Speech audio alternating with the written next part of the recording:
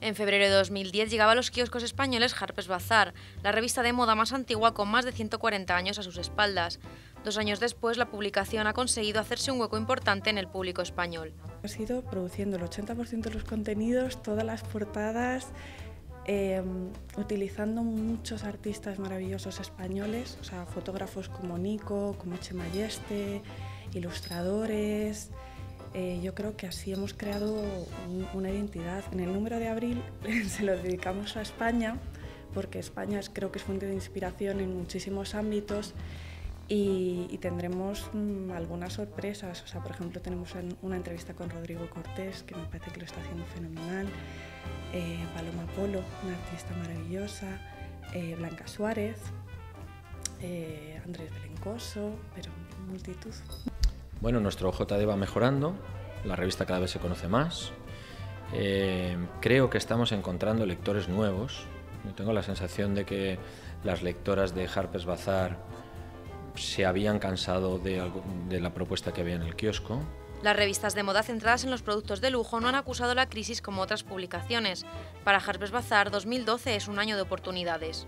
En términos publicitarios, el 2011 ha sido superior al 2010 eh, para Harper's Bazaar y para las revistas de Spain Media y esperemos que el 2012 también lo sea. La industria del lujo continúa creciendo en España, está creciendo con cifras de dos dígitos, también por el turismo que recibimos, eh, pero obviamente la industria del lujo y revistas como esta se dirigen a la gente que más poder adquisitivo tiene. ¿no?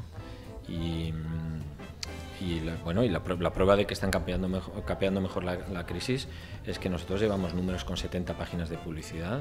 Eh, y con una tarifa bastante, bastante solvente. Sufren mucho las revistas dirigidas al mercado de masas, eh, pero las revistas eh, de alta gama sufren menos y dentro de la alta gama las revistas de más alta gama son las que menos sufren.